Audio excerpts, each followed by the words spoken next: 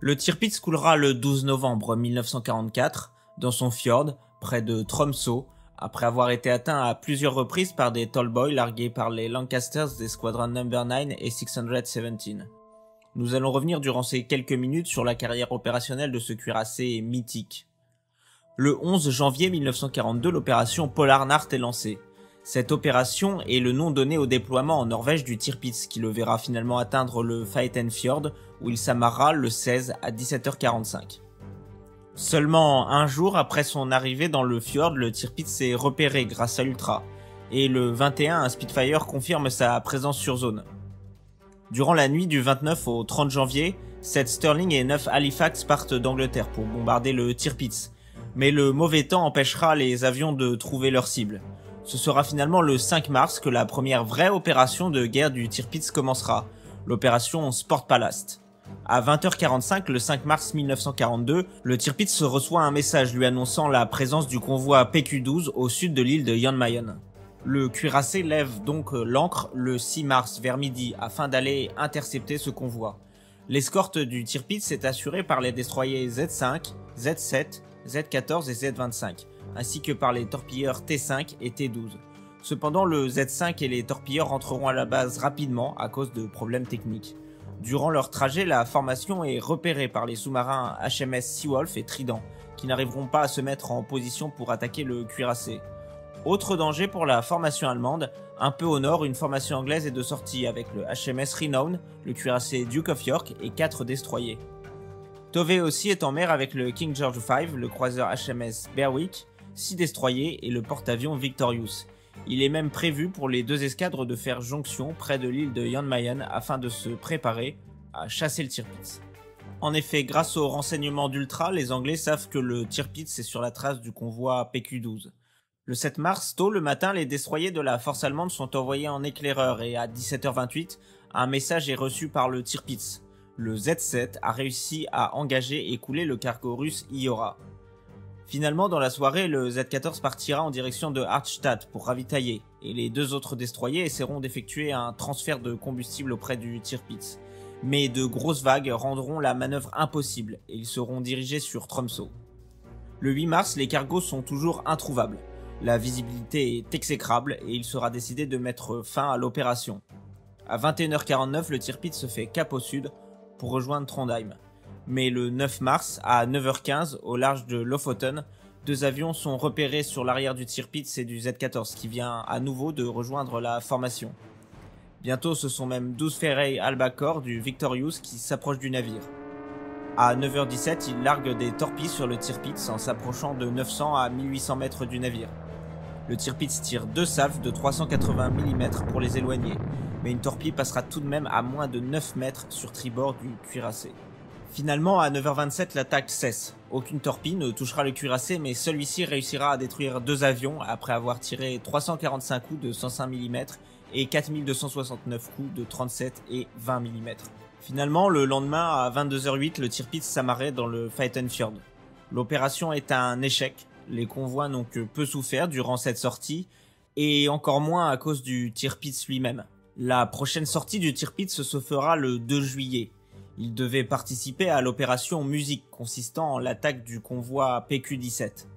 Ce convoi subira d'énormes dégâts en perdant 26 navires sur les 37 qui le composaient, mais aucun du fait du Tirpitz, ou du moins pas de ses canons. En revanche, la présence du Tirpitz sur zone aura obligé les navires du convoi à se disperser, les privant de leur protection. Comme il ne sera pas possible de traiter de l'entièreté de la carrière du Tirpitz, nous allons avancer un peu plus dans le temps jusqu'à l'opération Title. Le 19 décembre 1941, les Italiens arrivent à endommager le HMS Valiant et le HMS Queen Elizabeth, alors au mouillage dans le port d'Alexandrie. Pour ce faire, les six plongeurs ont fait usage de trois sous-marins de poche. Et c'est précisément le souvenir de ce raid dans le port d'Alexandrie qui poussa Winston Churchill à envoyer une note au général Hastings Ismay, alors secrétaire du Conseil d'état-major le 18 janvier 1942. Celle-ci indiquait entre autres Pourriez-vous m'informer de ce qui est fait pour imiter l'exploit des Italiens dans le port d'Alexandrie? Imiter le raid du port d'Alexandrie pour couler le Tirpitz, voilà son idée. Les sous-marins de poche anglais seront appelés les Chariots, et en octobre, ils arriveront à poser des charges fictives sur le cuirassé Howe alors au mouillage et protégés par des filets par torpille. Cependant, il reste un problème. Ils ont besoin d'un navire pour être approchés de la zone d'opération. Comment faire pour les transporter incognito? Un chalutier avait été volé par un résistant norvégien et il se trouve dans un port des îles Shetland. Il sera parfait. Il ne reste plus qu'à lui rajouter quelques fixations auxquelles accrocher les chariots. Les deux chariots seront pilotés par quatre Britanniques. L'explosif nécessaire à l'opération sera caché dans la tourbe que le navire transporte. Des faux papiers sont aussi fournis à l'équipage afin de passer les barrages allemands en protégeant Trondheim et le Fjord que le Tirpitz se rejoindra le 24 octobre. C'est donc le 26 que débute l'opération Title. Le chalutier Arthur devra partir des Shetlands et rejoindre Trondheim et lâcher ses chariots à 8 nautiques du Tirpitz. Après une traversée très compliquée, le Arthur arrive à l'entrée du Trondheim Fjord. Seulement le 30 octobre et au niveau de l'île d'Itra, son moteur perd de la puissance. Le chalutier doit stopper au port d'Estvik pour réparer. Un piston venait de se fêler, mais il sera réparé par le forgeron du village. L'Arthur repartira le lendemain dans la matinée et fera face à une mer agitée, à tel point que les chariots se détacheront du navire.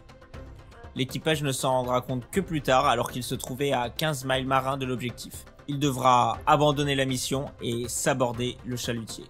Mais ce ne sera pas le dernier assaut de sous-marins de poche sur le Tirpitz. Après l'opération Title, le Tirpitz sera changé de fjord. Il mouillera désormais à l'Alta Fjord, duquel il partira le 6 septembre 1943 pour aller bombarder l'île de Spitzberg qui produisait beaucoup de charbon à destination de la Russie. Irrité par cette sortie du Tirpitz, Churchill relança l'idée d'une attaque sur le Tirpitz à l'aide de sous-marins de poche, mais cette fois plus évolué que les précédents Chariots. Les X-Craft, des sous-marins de poche longs de 15,74 mètres et larges de 2,25 mètres. Ils déplaçaient 29,70 tonnes en plongée, pouvaient aller à 5,75 nœuds sous l'eau et plonger à 90 mètres. En outre, ils étaient armés avec deux charges de 1700 kg d'Armatex. Le Tirpitz ne devait pas être seul dans son fjord. Des X-Craft avaient aussi été construits afin de prendre pour cible le Scharnhorst et le Lutzow. C'est donc 5 X-Craft qui seront construits pour ce raid. Le 10 septembre 1943, un Spitfire valide la présence du Tirpitz et du Scharnhorst dans le Kaifjord. Les X-Craft vont se préparer au départ. Ils seront tous remorqués par des sous-marins. Une partie des X-Craft partiront du nord de l'Écosse le 11 septembre. Le X6 remorqué par le HMS Truculent, le X9 par le HMS Sirtis, le X5 par le HMS Thraser, le X8 par le HMS Sinaf et enfin le X7 par le HMS Stubborn. Le 12, c'est le X10 qui prend la mer, remorqué par le HMS Sceptre. Les X5, X6 et X7 auront comme objectif le Tirpitz, le X9 et X10 le Scharnhorst et le X8 le Lutzow. Mais rapidement les soucis commencent, au point que par exemple le 16 septembre le X9 sera perdu en mer. Le X8 devra abandonner ses charges explosives se retrouvant ainsi sans armement. Des X-Craft qui ont réussi à atteindre le fjord, le X7 arrivera à larguer sa charge le 22 septembre 1943 à 7h30 au niveau de la tourelle Bruno du Tirpitz après s'être coincé plusieurs fois dans des filets anti-torpilles. Il fera surface et subira des tirs, puis plongera à nouveau. Le lieutenant de vaisseau Place arrivera à l'évacuer alors qu'il était encore à la surface, tandis que Etkian devra sortir du X7 alors qu'il se trouve à 36 mètres de profondeur. Il sera capturé par une vedette du Tirpitz et retrouvera sur le navire Place, qui avait entre-temps été fait prisonnier. Les deux autres membres d'équipage mourront dans le sous-marin. Le X5 est coulé à une distance d'à peine 320 mètres du Tirpitz. Le X6, lui, doit vider ses ballasts après s'être coincé dans un filet anti-torpille. Il fait surface à 20 mètres à peine du cuirassé, d'où il largue ses charges et est sabordé. Le X10, lui, passera toute la journée à essayer de réparer les ennuis mécaniques auxquels il fait face. Il entendra finalement deux détonations dans la matinée et fera route vers son sous-marin mer. Le 22 septembre, à 10h12, une gigantesque déflagration soulève l'avant du Tirpitz. Impossible de savoir combien de charges vont exploser, mais déjà le cuirassé prend une gîte de 5 degrés bâbord, et toutes les lumières du navire s'éteignent. Différentes brèches viennent de faire rentrer 800 tonnes d'eau dans la coque. Les tourelles Anton et Kaiser ont été soulevées de leur logement et ne peuvent plus pivoter. La tourelle arrière tribord, les télémètres, les turbogénérateurs et les chaudières sont hors service.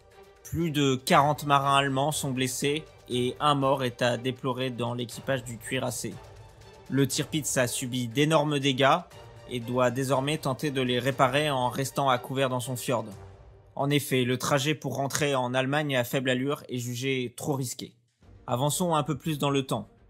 26 décembre 1943, le Tirpitz apprend la destruction du Scharnhorst. Désormais, il est le dernier navire de guerre de fort tonnage du nord de la Norvège.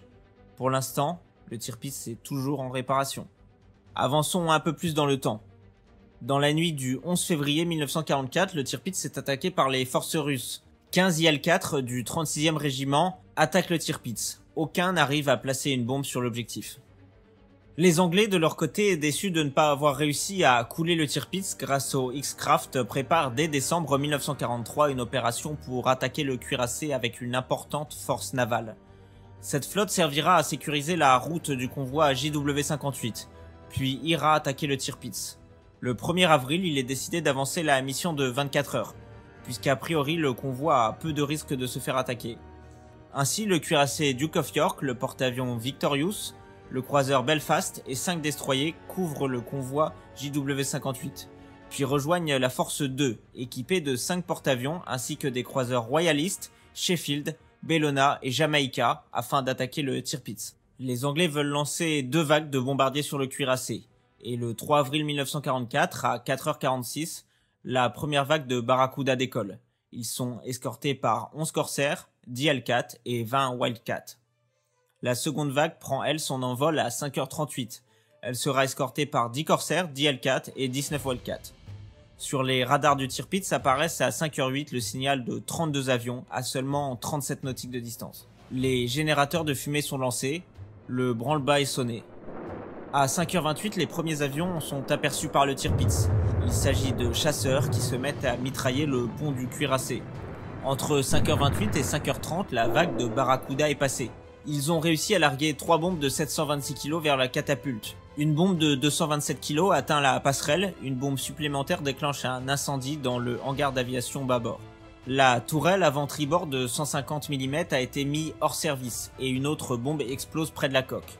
C'est à 6h36 que la seconde vague de bombardiers arrive sur le navire.